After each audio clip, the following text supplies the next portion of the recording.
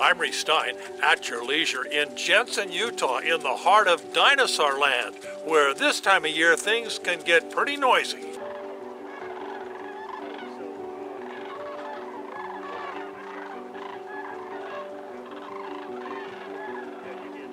They are the sights and the sounds that make us know that the seasons are changing. Sandhill cranes pass through Utah each fall on their yearly migratory journey from their summer homes in far northern Alaska and Canada. They are headed for Mexico and southwestern U.S. for the winter. The Uinta Basin serves as a refueling stop for thousands of cranes. The birds spend the night safely on the river, then at sunup move to the stubble grain fields to stoke up. We have a perfect environment for them. Over here on Dinosaur National Monument, and then on the other side of town in Ouray, we have the, the wildlife refuge.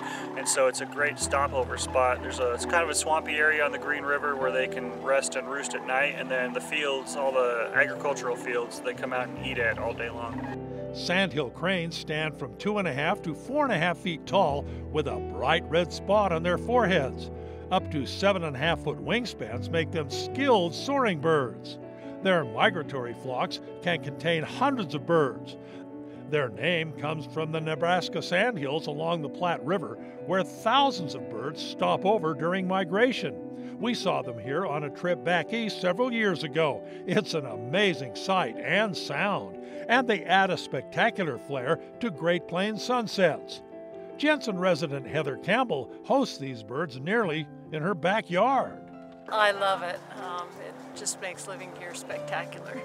The cranes are a big reason Kelly Lynch moved to the basin.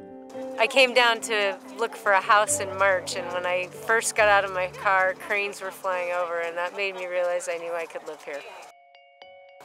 They're, they're big, uh, they're noisy, uh, and I also learned today that they're, they're the oldest prehistoric uh, bird around, still that's still living. Fossils indicate crane ancestors have been cruising North America for 10 million years.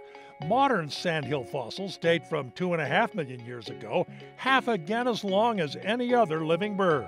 Sandhill cranes in dinosaur land are a great reminder that birds are avian dinosaurs, the direct descendants of those wonderful beasts that we have uh, preserved as fossils in the rock. We can actually see them and hear them still today. Each fall, the Utah Division of Wildlife Resources hosts a public crane viewing adventure in Jensen, providing binoculars, spotting scopes, and lots of good information. We have this annual event. Uh, we just want to kind of showcase some of the great wildlife we have here in Utah. So this this week it's sandhill cranes. Reece Stein at your leisure along the way in Jensen, Utah.